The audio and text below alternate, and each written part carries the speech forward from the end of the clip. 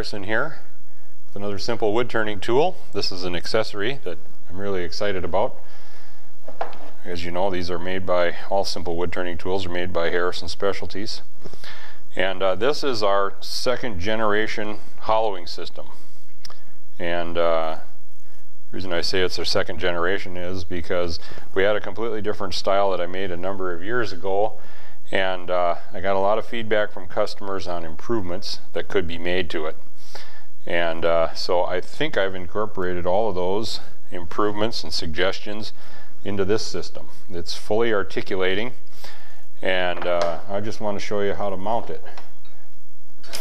You get these this mounting base, you got a quarter 20 screw here and you thread that in here and then this will just drop in here like this. And that base or that clamp is threaded.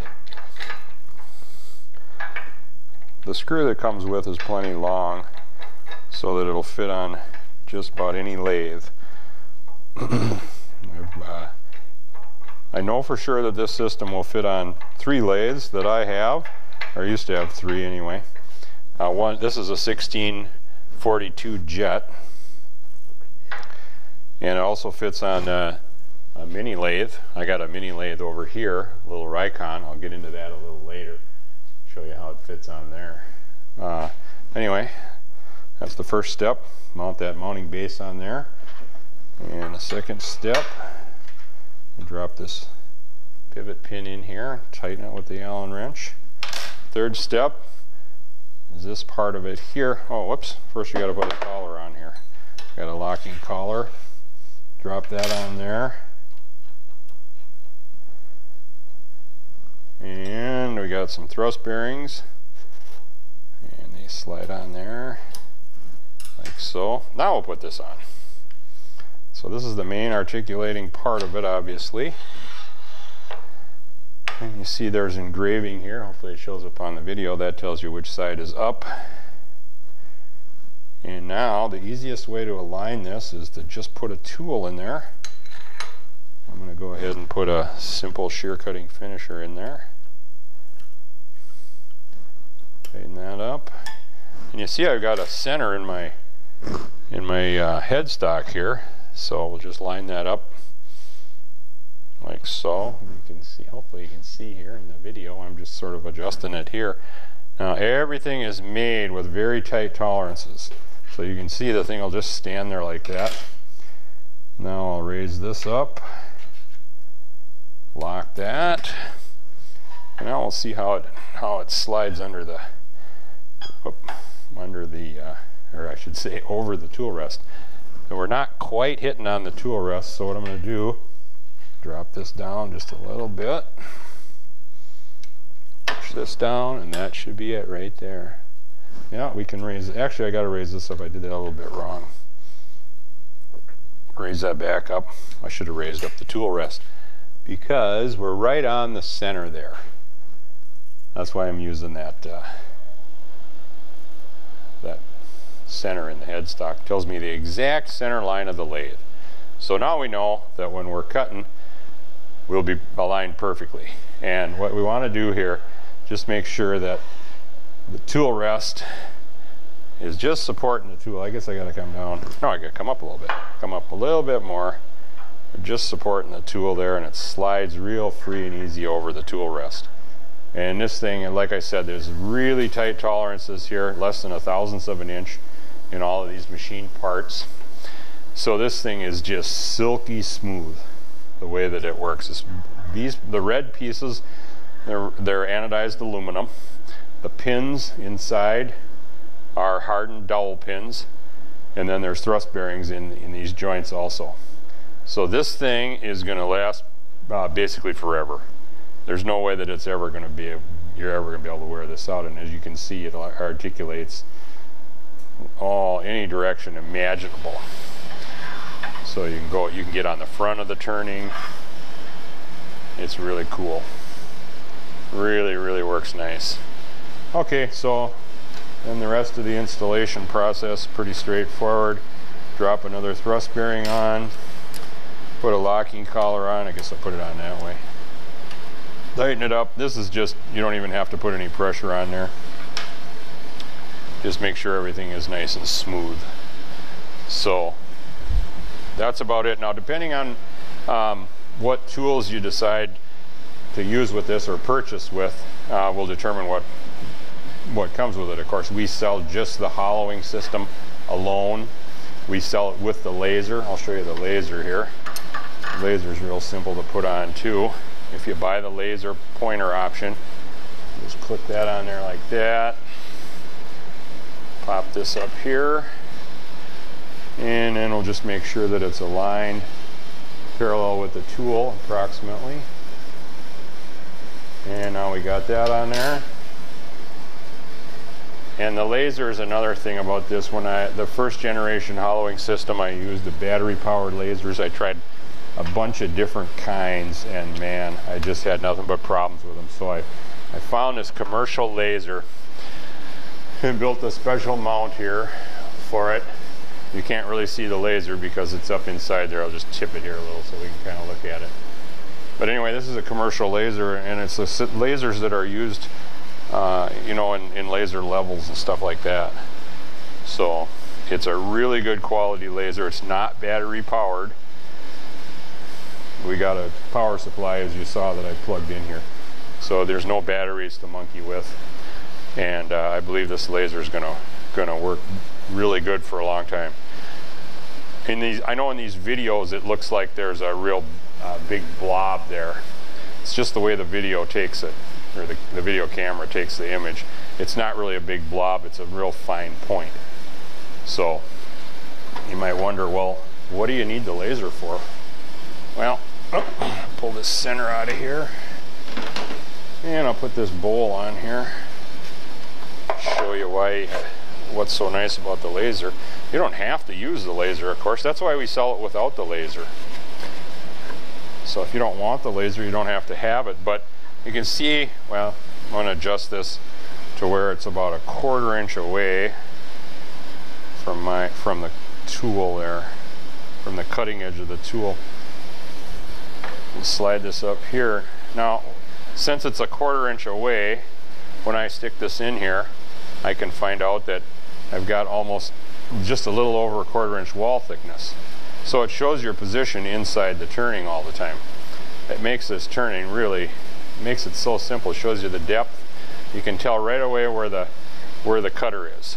And this is especially important if you're doing closed forms, you know, uh, something like this here, you know, you can stick this, stick the tool in there and then you can see exactly what the depth is. And you can also tell the, you know, where you are as you're going inside there. So that's a nice accessory. So that's that's one accessory for it. Uh, where the most likely tools that would be used with this are the, are the uh, simple shear cutting finisher. Now this is the 12 inch length tool that we've sold for years and years. And when it's in here, we've got a depth of about nine and a half inches. So one of the things that people always ask me is how deep can you go? Well, if I slide the tool rest back here, the deepest you could go, you can see there would be about nine inches. And there's a lot of folks that want to do turnings that are that are uh, deeper than that. So, along with this hollowing system, we came up with a 16 inch shear cutting finisher so we can get deeper inside of vessels. So it's a matter of just sticking that in there. Now let's see what we got. We've got, back this up a little bit. We can go to a depth now of 13 and a half would be about the maximum. I guess if you were going to run the, the turning right up to the tail or to the tool rest. Here, let's back this up a little. I can't get my ruler in there good enough to show you. So we'll just loosen it a little bit here. I got these little struts across the the bed here, so sometimes they get in the way. There we go.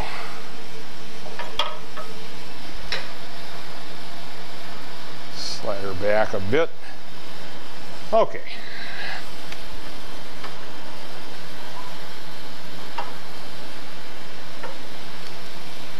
So maximum depth with the 16 inch tool would be 13 inches. And we call it a 16 inch tool because it's 16 inches overall. It's a two and a half inch tang inside of the tool holder here. So that'll give you lots of extra depth. And actually this tool is real nice to use on this because even if you're even if you're not going that deep, it makes the thing nice and long and it's real easy to uh, it's real easy to, to operate this and you can see the laser of course is all out of whack here. I better change that because of the longer tool. I'll just position that like so. Anyway you get the idea. Now we can use this tool. You can kind of see what I'm doing here. Let's measure this bowl. This bowl is 13 and a half diameter and it measures about four and a half inches deep So the other tool options that you'll see on our website or Amazon, wherever you happen to be looking at this, we have the simple swan neck hollower, of course, because obviously this is a hollowing system, so I suppose you'd want to use the swan neck hollower with it. If you're going to do, again, if you're going to hollow vessels like this one, you can adjust the laser, of course, because it's a different tool. Like so. And that'll let you get up inside there. So we've got the swan neck hollower available. And the simplest tool of them all to use, absolutely never get any catches with this no matter what, is the simple turner and hollower. And that one, of course, has the flat round cutter on it. Oop. Get those loosened up.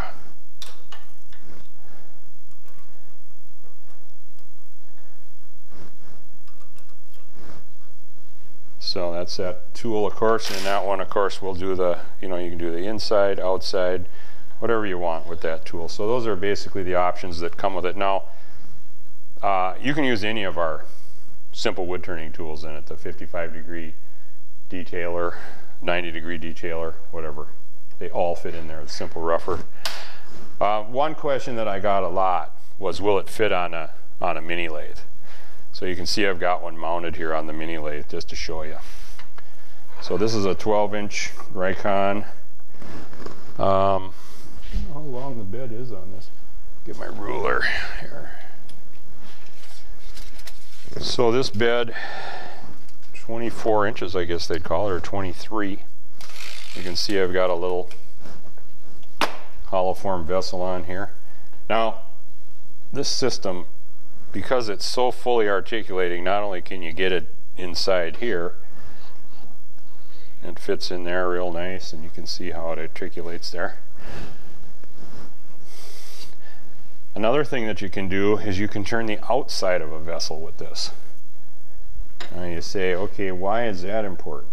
Well, over the years I've gotten a number of phone calls from people that are in wheelchairs or they have other physical uh, situations that make it hard for them to control tools. Some of them have, they don't have much strength in their hands. Might be hard to hold on to a regular handled tool. So one of the things with this system is the ability to do the outside of a vessel. Like you can see here, we could turn the whole outside of this. We can turn the outside and the inside just by swinging this around. And we can get in there. And that should be a great help to someone that has to turn from a seated position or they have other situations that make it difficult. So I just want to show you how that works. And of course, you can put the laser on here. Oop, spin this around. Stick the laser in here.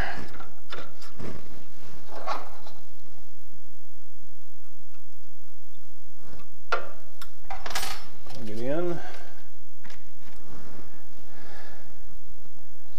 Well, I suppose I should line it up.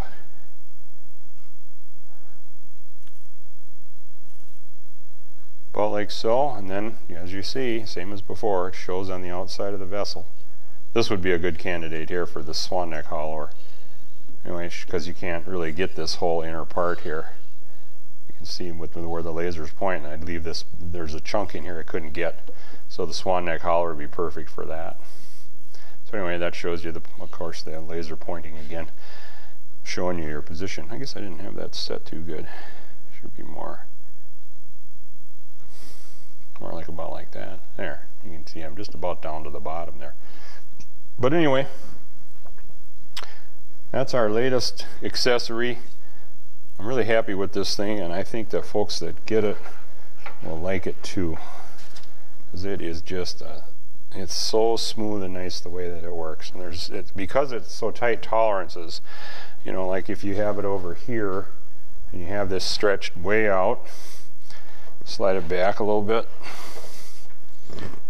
You can see that look at how the how the there's so much mechanical advantage between here and the fulcrum that and because it's so tight there's no movement hardly at all in this.